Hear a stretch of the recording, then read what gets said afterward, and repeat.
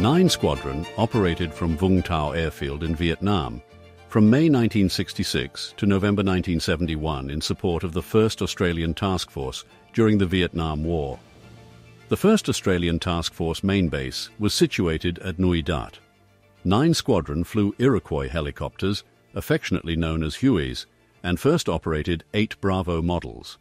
The Bravo models were gradually replaced with larger Delta and then more powerful hotel models until the squadron operated 16 of the hotel models from about mid 1968.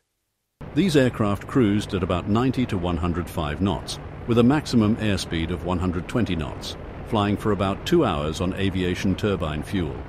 The standard crew of a nine squadron Iroquois was pilot, co pilot, crewman in charge of loading and operation of the rescue hoist and gun, both on the right side of the cargo compartment, and gunner, who would operate the machine gun on the left side and help the crewmen.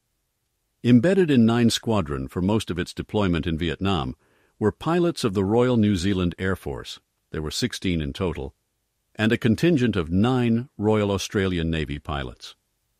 All nine squadron ground and air crew rotated through the squadron on staggered 12 month tours of duty to maintain a good spread of competence. A trickle of experience was sent home to be replaced by a trickle of new crew. Occasionally, tours were extended. Many served two and a few three tours. Most of the aircraft were known as slicks, or troop and cargo carrying versions, with two M60 machine guns, one on each side of the aircraft, for self defense, and a rescue hoist. The slicks could, and often did, conduct what was known as a dust off, or a rescue of casualties. Although, when tasked as a dedicated dust off aircraft, usually an Army or RAAF medic was carried in addition to the usual four crew. The call sign of these slicks was Albatross 01, for example, where 01 indicated the flight lead, followed by Albatross 02, 03, and so on. Three of the hotel versions of the aircraft were configured as gunships, call sign Bushranger 71, 71 indicating the lead aircraft, and Bushranger 72 and 73. The gunships were crewed by two pilots, a crewman, and a gunner. They did not have a rescue hoist fitted, they were armed each side with twin M60 machine guns, a total of four guns, each with 750 7.62 caliber belted ammunition rounds in a bin. There was also fixed forward firing miniguns with around 10,000 7.62 caliber ammunition fed to both miniguns, and a rocket pod with seven rockets.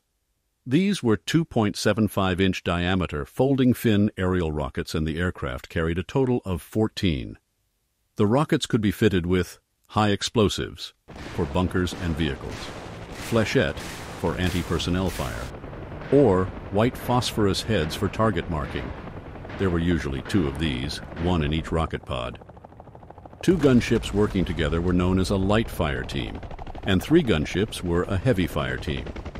Each dawn, usually following an intelligence and operations brief at Dingo operations at Vung Tau, four slicks, a 01 to 04, and two gunships, Bushranger 71 and 72, would leave Vung Tau for the 10 to 15 minute flight to Nui Dat, or to a planned mission, then recover to Nui Dat for further planned tasks, or wait at Kanga Pad on immediate standby for unplanned tasks.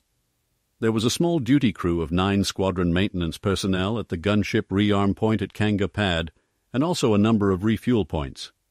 From November 1970 until November 1971, a dedicated dust-off aircraft, known as Albatross Dust-Off, maintained a 24-hour standby at Red Earth, 8th Field Ambulance Royal Australian Army Medical Corps, on Kanga Pad at Nui Dat.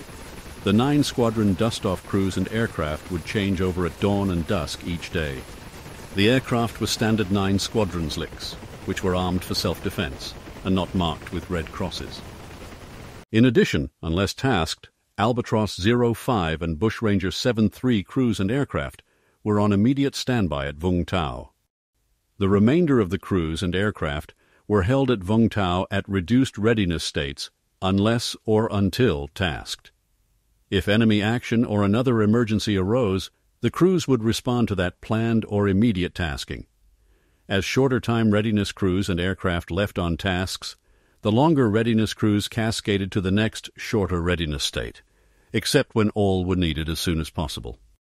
Often pre-planned tasking meant that most or all crews and aircraft would move direct to tasks or land at Nui Dat before departing on task in company with part or all of the remainder of the squadron. The maintenance crews aimed to have 13 of the normal 16 aircraft available for tasking each day. Rarely was the aim missed, even when the squadron had lost aircraft to enemy action, and two were not replaced for quite a while. The nine squadron ground crew were magnificent, and their competence and dedication were crucial to the impressive aircraft serviceability rate and thus the operational effectiveness of the squadron. The Bushranger gunships almost always operated as a tactical pair, or three ship, with Bushranger 7-1 as flight lead. The Albatross slicks often operated in pairs or larger formations, for example SAS patrol insertions or extractions, or troop moves, with Albatross 01 as flight lead, usually in coordination with Bushranger 71 and 72, providing fire support. When coordinating a large operation, the commanding officer of 9 Squadron, or senior 9 Squadron executives, would fly as mission lead in an aircraft fitted with extra communications and carrying the ground commander and staff. Their call sign would be Albatross Charlie Charlie. This aircraft would direct the slicks and gunships to best meet the objectives of the mission in coordination with other supporting arms, for example, naval gunfire, airstrikes, and artillery. There were many routine tasks flown by nine squadron slicks on various single or multi-aircraft tasks. For example, logistic resupply, liaison, reconnaissance, special operations, spraying, maintenance test flights, medevac, and so on. Planned tasking of 9 Squadron was from the 1 ATF Tactical Air Operations Center at Nui Dat through Dingo Ops at Vung Tau.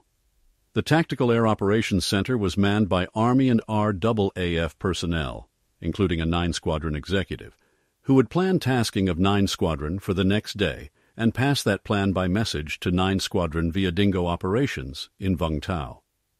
Unplanned tasks would be sorted immediately by radio, often to either Albatross 01 or Bushranger 71 when airborne, or by phone if the flight leaders and crews were at the 9 Squadron Alert Shack at Kangapad, Nui Dat. Planned SAS recce's and patrol insertions and extractions were briefed by Albatross 01 at the Alert Shack, with the SAS patrol in attendance for the recce and insertions. Often SAS patrols had to be extracted when in contact with the enemy. Then Albatross 01 and Bushranger 71 would follow standard procedures to minimize risk during the hot extraction. The 9 Squadron Standard Operations Procedures Manual was complete, concise, and effective. The SAS and 9 Squadron were a well practiced and harmonious team. Navigation within the 1 ATF area of operations in Phuoc Tuy province was visual, using 1 in 100,000 or 50,000 scale tactical maps with a 1,000 meter grid overlay and covered in plastic laminate.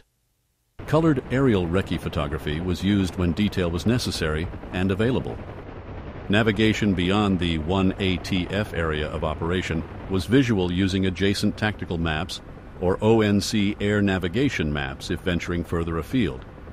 For example, a 1 in 500,000 or 1 in 1 million air navigation maps. Usually, flights were above small arms range at 1,500 feet above ground level in the area of operation. If operating at low level, aircraft would fly as close to the treetops as possible. Most of the area of operation was covered in jungle. However, low level flight over open country was avoided if possible. During medevac, or dust-off, at night, there was often a difficult trade-off between the risk of hitting ground and obstacles or being hit by ground fire. There were no night vision devices, and night navigation was visual, often below lowest safe height due to cloud overcast.